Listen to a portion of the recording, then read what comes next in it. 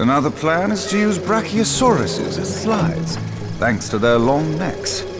And as they're herbivores, they're extremely unlikely to eat any of the visitors.